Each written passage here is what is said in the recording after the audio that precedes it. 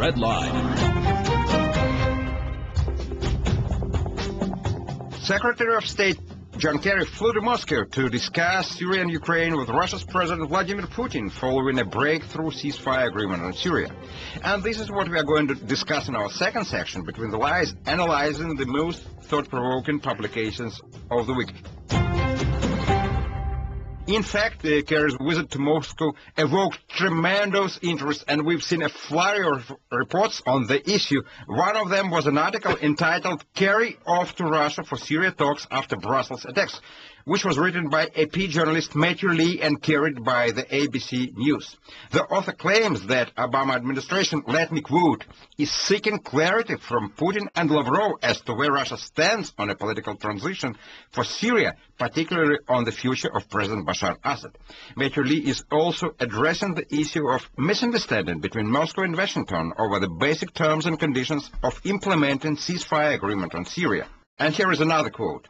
Russia warned the United States that it will start responding unilaterally to ceasefire violations in Syria if the U.S. refuses to coordinate rules of engagement against uh, violators. So it's very interesting that the article was written as a preview to the visit, but we've seen that the atmosphere of the visit was surprisingly non-confrontational both sides were cooperating, trading jokes, and uh, probably that was a sign that U.S.-Russian relations are back on track. And from on that, we have in our studio a very special guest, Mr. Fyodor Voitolovsky, Deputy Director of the Institute of World Economy and International Relations with Russia's Academy on Sciences. Mr. Voitolovsky, so you, you seen, I was quoting the publication which was written just on the eve of the visit, and it was just pointing to the, the bonds of contentions between the U.S. and Russia. But if we look at the visit and we see the statements which were made, it looks that both sides were just trying to make emphasis on the positive agenda. There was no any blame game, and uh, President uh, Putin was speaking favorably of President Obama and his role in Syria.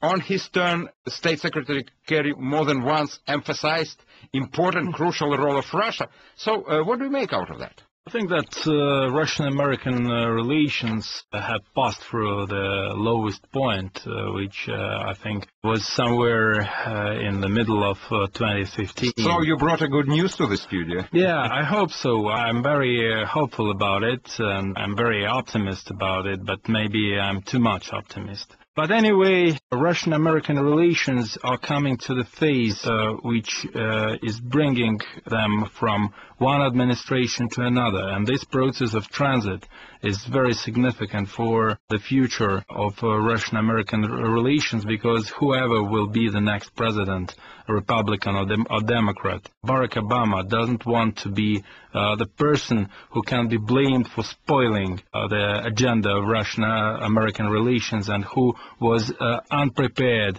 for the troubles and uh, crises which happened after the reset policy, which had a lot of, uh, uh, you know, optimistic estimates uh, and very emotional in its background. But now uh, we have passed through Ukrainian crisis, we have passed through uh, Syrian crisis on its, you know, hot phase, and we also have broader international security agenda. We have the challenge of international terrorism. We have an unpredictable situation on Korean Peninsula and uh, escalation of confrontation there. We have unpredictable and uh, very dangerous situation in Afghanistan and in uh, some parts of uh, Pakistan which can uh, challenge uh, security of Central Asian states. We have very know, trouble-making situation with flows of migration in Europe. We have Russian-Turkey confrontation on many issues and political misunderstanding. So we have very broad agenda, and each you know point of this agenda it's it touches uh, Russian-American relations. Yeah, absolutely. I, I agree that the, the, visit expanded the agenda of the visit, and uh, initially it was announced that uh, both sides would discuss Ukraine and Syria only, but after Brussels attacks, obviously there was no way just to, to miss it, to bypass it. But from on that, we have a guest uh, on the line now, Fred Weir, uh, Moscow correspondent of Christian Science Monitor, who was also watching the visit uh, and was covering it. Red Line.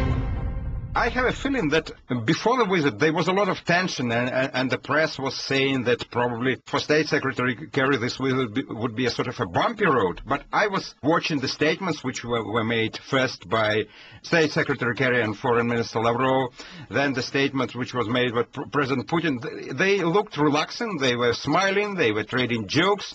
Do I get it right that both sides are trying to restore that, that atmosphere of confidence and trust, which we, we were lacking for, for the last uh, months and, and, probably years? I think you're right. The, the mood was less tense than the past, although we, we are watching a process. You know, this is Kerry's third visit in the last, well, less than a year. And uh, that's after a really acrimonious time, you know, when the Americans actually said, don't talk to the Russians at all, to all Europeans and so on. You remember that. So the, the ice has been broken, and we can see perhaps that it's melting. Um, but it, it, it's spring now. It's March, so the ice has to melt. it's very, very timely, very timely indeed. Uh, but there's a long way to go. I mean, on the Syria stuff, we can see they're getting on the same page, that their interests are aligning, uh, and there must be some element of agreement below the surface that they're not bringing out and showing us. But at the same time, it's not as though it's going gallopingly well. I mean, the, the Geneva talks are still at the stage of talking about talking rather than hard negotiations.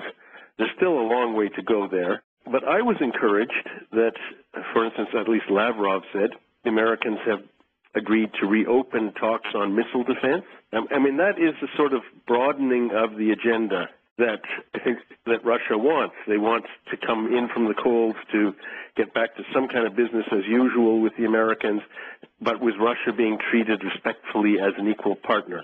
I believe that is the Russian goal. And so we do seem to be edging closer to it, but we're nowhere near it. Uh, Fred, you, you said that this is the third visit of State Secretary Kerry in probably half a year, and in fact, I've heard the, the same thing which is said by many people these days. But I was thinking of uh, that this was also the first visit of State Secretary Kerry to Moscow after uh, both Presidents Obama and Putin has thrown their weight behind uh, the ceasefire agreement in Syria. And, and, for me, this is very important. So, and uh, again, if we analyze what was said during the visit, it seems that both sides are trying to capitalize on that, that, that positive agenda which is shaping up over with Syria and trying to expand it. That's what Mr. Voitolovsky was saying. Yeah, I, I think I think it's certainly on the Russian side where there is a lot of grief over sanctions, over what they view as American uh, disrespecting and misunderstanding Russia. I think there really is a hope that finding this Syria agreement will be like the thin edge of the wedge.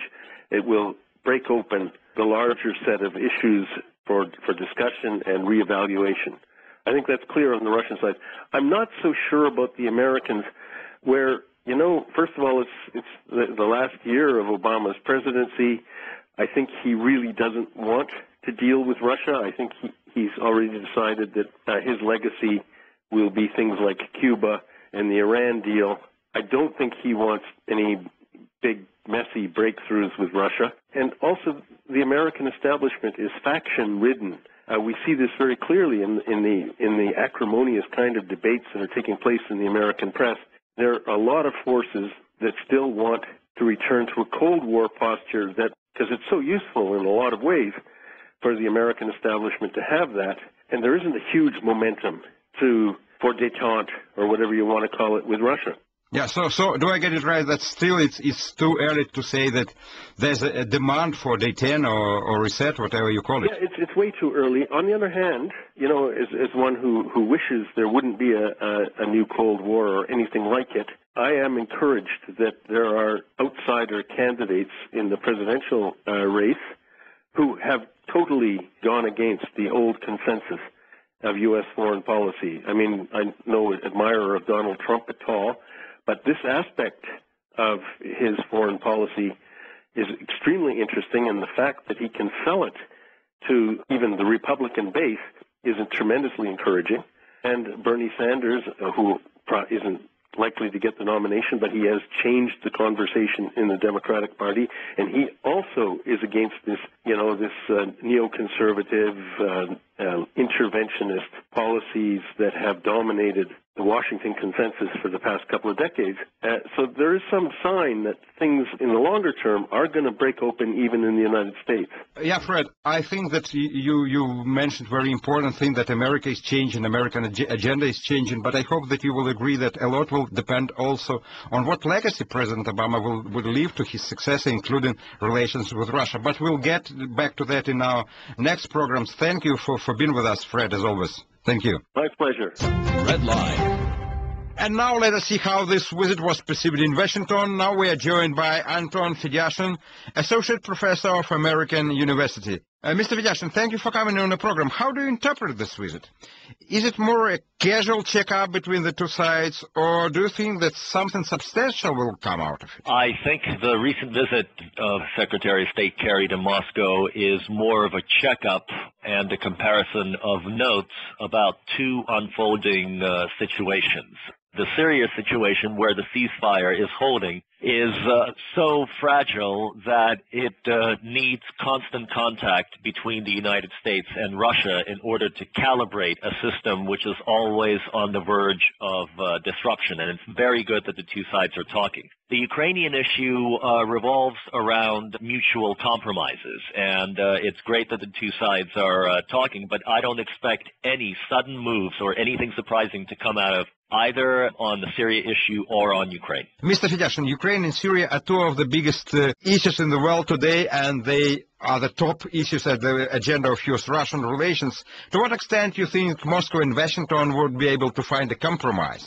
Well, I think that the hope from the Russian side is that there is a possibility of the grand bargain. I don't think that the American side is yet ready to make it. Judging by the commentary from Capitol Hill here in Washington, D.C., the American side will prefer to compartmentalize these two issues, to work with the Russians very constructively on Syria, and then to compensate for that kind of close cooperation to be a lot more firm on the question of Ukraine and to demand more concessions from the southeast of uh, the Ukraine, of uh, the leadership of the Donetsk and the Lugansk Republic, and from the Russians. The Democrats have an election to win, and I think that there is concern within the Democratic Party about appearing too conciliatory and too soft on Moscow because this will taint Hillary Clinton's possibility of winning in November. As you know, previously there was a lot of talk about disagreement,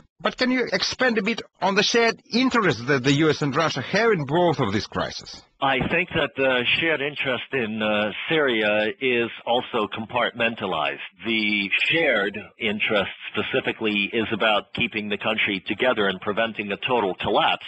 The differences is in how to achieve that. The Russians seem to have prevailed on the United States and its Western partners on abandoning the narrative that Assad must go immediately and then dealing with the situation afterwards. There is still disagreement about how long he will stay, the conditions of the, the move towards a stable peace in Syria and the political future of the country. And I think that those questions were probably what took up most of the time in discussion between Lavrov and Kerry and the, with Putin. On Ukraine, I think the positions are a lot further apart. The, the main question for the Russians is whether the Americans are willing to put enough pressure on the government of Petro Poroshenko to deliver on their side of the Minsk agreements. And the American side is interested in putting pressure on the Russians and through them, the Donetsk and Lugansk uh, People's Republics to fulfill their side of the agreement. And it looks like neither side wants to make the first move, but both moves will have to be made. Recogn- uh, elections and uh, recognition of a special status from Kiev side, and then uh, the control over the border from the side of Donetsk and Lugansk. And now we are running out of time, and uh, we have to wrap up this section of Red Line. So let me thank uh, uh, all our guests participating, beginning with our studio guest, Mr. Fyodor Voitolovsky, Deputy Director of the Institute of World Economy and International Relations with Russian Academy of Sciences, and uh, Fred uh, Weir, Special Correspondent with Christian Science Monitor, and Anton Fedyashin, Professor of History with uh, American University based in Washington. Following in our program, we have Barack Obama setting foot in the Cuban no-go zone. Stay with us.